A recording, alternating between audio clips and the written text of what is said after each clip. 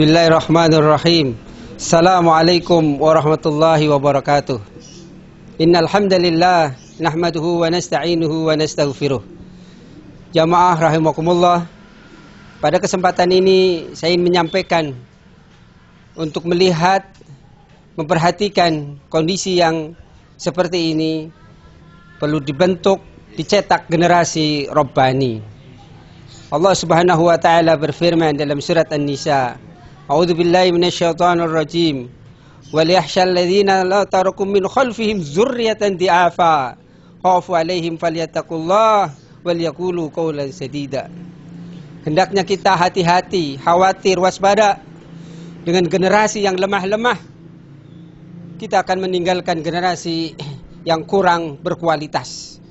Maka pada kesempatan ini saya ingin menyampaikan bagaimana persiapan kita untuk mempersiapkan sedini mungkin agar generasi yang akan datang adalah generasi-generasi yang kuat.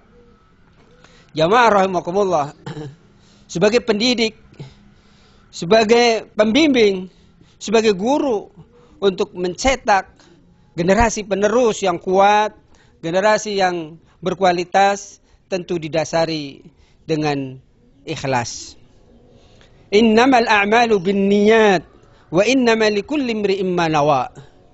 Sesungguhnya segala amal itu tergantung niat dan orang akan mendapatkan sesuatu itu tergantung niatnya.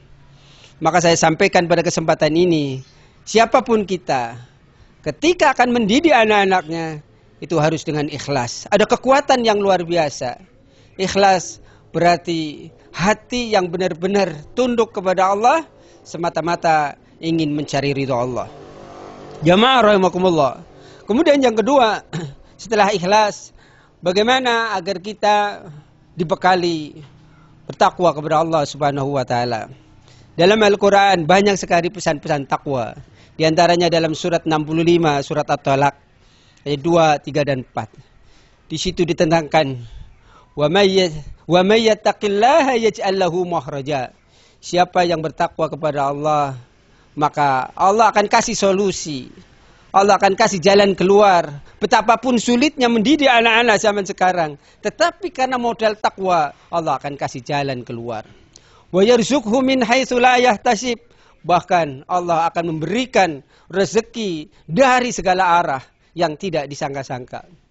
Jamaah rahimakumullah. Kemudian yang perlu dikuatkan lagi setelah dibekali dengan ikhlas, Kemudian dengan takwa yang tak kalah pentingnya adalah sabar. Innama yuwaffas sabiruna ajrahum bighairi hisab. Hanya orang-orang yang sabar saja yang akan diberi pahala tak terhingga. Sabar berarti perlu dengan ketekunan, ketelitian, ketabahan dan seterusnya. Jamaah rahimakumullah. Kemudian bekal yang harus dimiliki oleh para pendidik agar bisa mencetak generasi yang handal, generasi robbani, generasi yang luar biasa adalah lemah lembut. Jamaah rahimakumullah, Rasulullah menekankan, yassiru wa la tu'assiru. Mudahkanlah dan jangan mempersulit. Basyiru, beri kabar gembira. Wa tunafiru, biar mereka tidak lari. Karena itu, teruslah bersungguh-sungguh untuk menjadikan generasi yang luar biasa, generasi yang handal, generasi yang kuat. Tentu didasari dengan kelembutan dari seorang pendidik.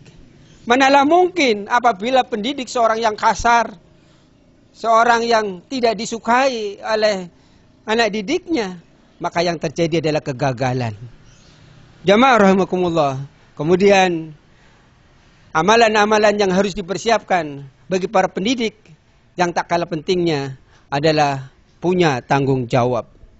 Jamaah rahimakumullah. Masing-masing kita akan dimintai pertanggungjawaban. Maka dengan dasar tanggung jawab ini, kita akan menjadikan, mencetak generasi yang luar biasa. Karena ada rasa empati. Bukan dibiarkan begitu saja. Anak-anak dibimbing dari sekarang, diperhatikan, diarahkan, dipantau, dan diajak untuk menjadi orang-orang yang sukses. Allah Subhanahu wa taala berfirman sebagai bahasa motivasi, "Walladzina jahadu fina lanahdiyannahum subulana wa innallaha lama'al muhsinin." Dan orang-orang yang bersungguh-sungguh pada jalan kami, pasti akan kami beri petunjuk, beri jalan. Dan bagi orang yang ikhlas, bagi orang yang terus bertanggung jawab, bagi orang yang terus bertakwa, bagi orang yang sabar, maka Allah akan kasih jalan dan jalan itu ada di depan. Tinggal kita itu mau apa tidak. Setiap sholat malam jangan lupa mohon petunjuk sama Allah. Ihdini limah tulifa fihi minal haq. Bi'idnika innaka tahdi man tasha ila siratim mustaqim. Di depan tantangan begitu berat. Karena itu mari kita antarkan generasi yang akan datang, generasi yang kuat, generasi yang akan menatap zaman yang penuh tantangan. La ya'ti alaikum zamanun illa alladhi ba'dahu syarrum minhu hatta talqarbakum. Tidak akan datang suatu masa yang masa sesudahnya itu lebih berat. Anak-anak kita begitu berat menghadapi tantangan. Mudah-mudahan dengan didasari sifat-sifat yang dimiliki oleh pendidik, maka kita akan berhasil dan sukses.